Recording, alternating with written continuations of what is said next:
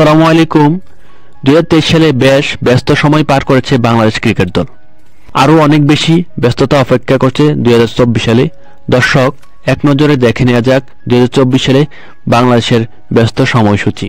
নতুন বছরে টাইগারদের ব্যস্ততা শুরু হবে বাংলাদেশ প্রিমিয়ার লিগ, বিপিএল দিয়ে। টুর্নামেন্টটি আগামী উনিশ জানুয়ারি থেকে শুরু হয়ে পয়লা মার্চ ফাইনালের মধ্য দিয়ে শেষ হবে।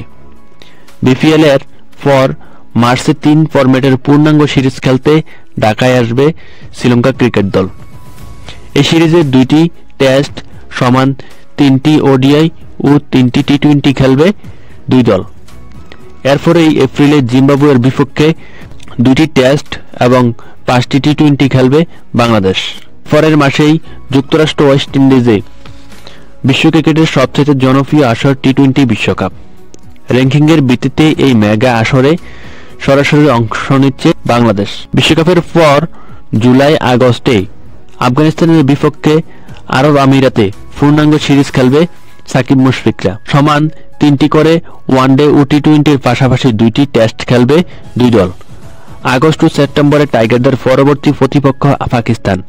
এই দ্বিপাক্ষিক সিরিজে পাকিস্তানের মাটিতে মাত্র দুইটি টেস্ট খেলবে বাংলাদেশ।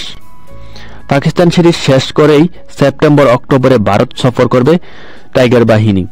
এই সফরে দুটি টেস্টের পাশাপাশি তিনটি ওডিআই ক্রিকেট খেলবে সাকিব মুশফিকরা।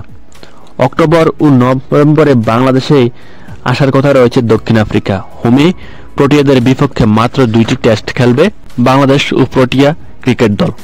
বছরের শেষ অ্যাসাইনমেন্টে নভেম্বর ডিসেম্বরে ওয়েস্ট ইন্ডিজে সফর করবে বাংলাদেশ ক্রিকেট দল।